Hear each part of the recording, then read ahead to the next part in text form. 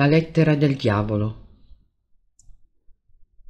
Sono passati due millenni da quando il cristianesimo ha fatto la comparsa nella nostra società e nonostante la presa della Chiesa sul popolo sia molto diminuita ancora oggi nella nostra vita quotidiana, siamo soliti parlare di Dio e del diavolo. Oggi la scienza sta prendendo sempre più piede, fornendo spiegazioni e dimostrazioni di fenomeni che una volta attribuivano a forze sovrannaturali. Ma la credenza che il male sia originato dal diavolo è ancora radicata in gran parte della popolazione. Ma esiste il diavolo? Esiste qualcuno o qualcosa che tenta le persone o che influisce sugli eventi quotidiani di ognuno di noi. Ognuno di noi ha le sue idee, ma in passato la pressione del clero era talmente forte sulla gente che il diavolo era una figura non solo presente nei loro pensieri, ma addirittura presente fisicamente tra il popolo.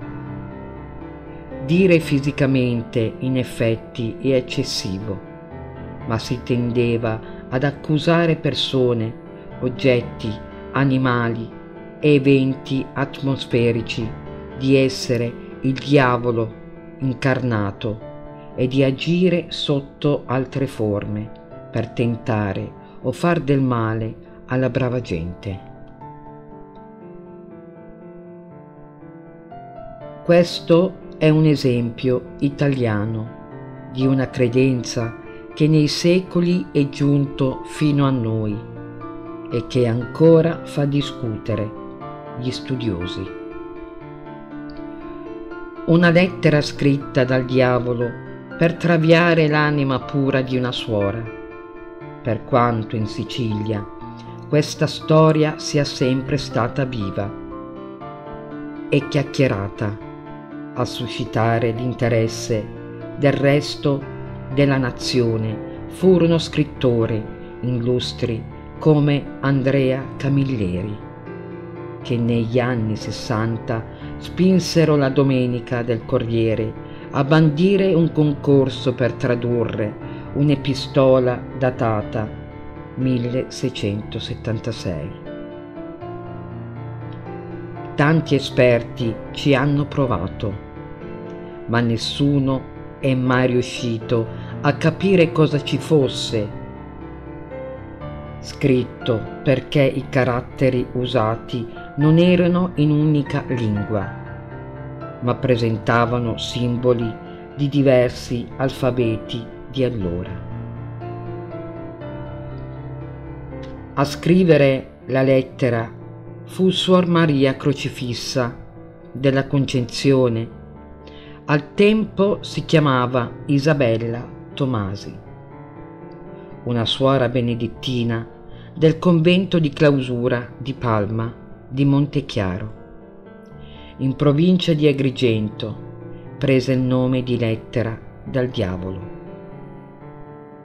perché fu lei stessa ad affermare di essere stata tentata dal maligno, che le aveva chiesto di firmarla. Ma andiamo con ordine.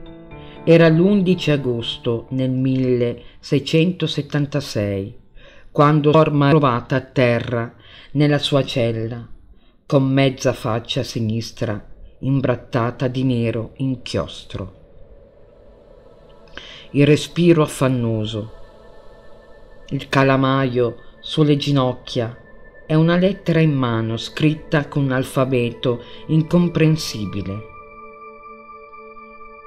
La donna era priva di sensi, ma si riprese poco dopo. Quella lettera, però, divenne presto il centro di un mistero molto fitto perché era scritta in un linguaggio incomprensibile e conteneva 14 righe scritte in un alfabeto tra il greco classico e il cirillico, ma in cui i caratteri messi in quella sequenza non creavano nessuna parola conosciuta, se non ahimè. Isabella disse di averla scritta su ordine del demonio in persona e che solo a lei era permesso comprenderne il testo. Disse che quella parola, oimè, era l'unica che lei aveva scritto, di sua volontà, e che per il resto era stata costretta a riportare quello che lui le aveva dettato. Al tempo le parole della donna furono prese per verità assoluta e in breve tempo si sperse la voce che quella lettera fosse un messaggio da parte del demonio. Per Dio affinché non interferisse nelle vicende degli uomini. Quando Suor Maria ne intuì lo scopo, provò a porsi, ma quella sua resistenza fu punita e lei fu tramortita. Non morì grazie all'intercessione di Dio stesso. Nei documenti ufficiali del tempo che riconobbero Sor Maria Venerabile c'era infatti scritto che quello era il premio per l'esito della lotta contro innumerevoli spiriti maligni, decisi a utilizzare Suor Maria Crocifissa come un misero corsiero. La donna che morì a 45 anni nel 1690 era solita affermare che il diavolo le aveva dettato altri due messaggi ma che lei si rifiutò di trascrivere e per questo fu colpita. La cosa curiosa è che le informazioni riportate sulla lettera non vennero rese pubbliche e forse sono andate perdute nel tempo e che lei stessa era solita a dire. Non mi domandate, non mi domandate di questo, di questo per, carità, carità, che non che posso, che non posso in vero modo, modo dirlo, dirlo, e nemmeno, e nemmeno occorre dirlo. Io che verrà tempo, tempo e che tutto udirete e vedrete. Nei secoli successivi gli studiosi si sono impegnati invano nel tentativo di decifrare quelle 14 righe. Ma in apparenza la lingua usata non era nessuna di quelle conosciute. La lettera era stata recentemente decifrata da un gruppo di scienziati dell'Udum Science Center di Catania. Tramite algoritmo scaricato del Deep Web che viene utilizzato dall'intelligence turca per descrittare i messaggi segreti dell'ISIS. Daniele Abate, direttore dell'Udum Science Center, ha così commentato Abbiamo inserito nel programma l'alfabeto greco, quello latino, quello runico e quello degli Yazidi il popolo considerato adoratore del diavolo che abitò il Sinjar, iracheno prima della comparsa dell'Islam. Tutti alfabeti che Suor Maria Crocifissa poteva aver visto o conosciuto. Abbiamo impiegato quattro mesi prima di giungere a quella che sembra una sequenza logiaca, almeno per la maggior parte della lettera. Cosa c'è scritto? su questa misteriosa missiva. La traduzione ha portato a questo. Di simboli che io che clausa li veggio, son fonte una disgrazia forse ormai certo, stinge stigli, vuode poiché io Cristo Zorastro seguono le vie antiche, o sarte cucite dagli uomini oimè, Ristorami servire nessuno questo. e sistema Zaborra sono le tre un Dio che sento liberare. I mortali si sono per questo sempre.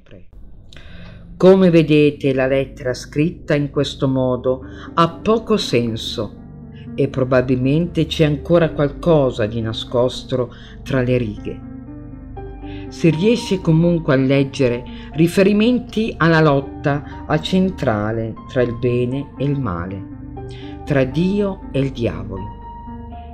C'è chi afferma che il messaggio principale sia Dio non esiste, la Trinità è un falso, ci sono solo io. Ma è davvero così? È davvero una lettera dettata dal diavolo in persona a una suora di clausura? Gli studiosi oggi tendono a pensare che Isabella Tomasi soffrisse di un disturbo bipolare dovuto allo stress della vita monastica e alla rigidità delle regole del tempo. Lo dimostrerebbe in fatto che nonostante si sia riusciti a dare un senso al 70% della lettera, la restante parte sia ancora incomprensibile. Abate ha anche affermato che quando il loro lavoro di traduzione è stato reso pubblico, è stato contattato da numerosi leader di sette sataniche convinti che il suo team abbia tenuto nascosto il vero messaggio sotto imposizione della Chiesa, che temerebbe la sua pericolosità. Per ora la lettera del diavolo è ancora un mistero, ma si è un buon punto sul svelarlo. Si dice che quella in possesso del monastero sarebbe una copia mentre l'originale si trova esposta nella torre della cattedrale di Agrigento. Un'altra copia è presente presso la biblioteca lucchesiana di Agrigento. Ragazzi, secondo voi il diavolo è fra noi? Secondo me sì alla prossima rubrica. Noi del GT Paranormal Investigation ci rivedremo in altre nuove indagini e rubriche sul paranormale. Ciao ciao ciao ciao ciao ciao ciao ciao ciao ciao ciao ciao ciao ciao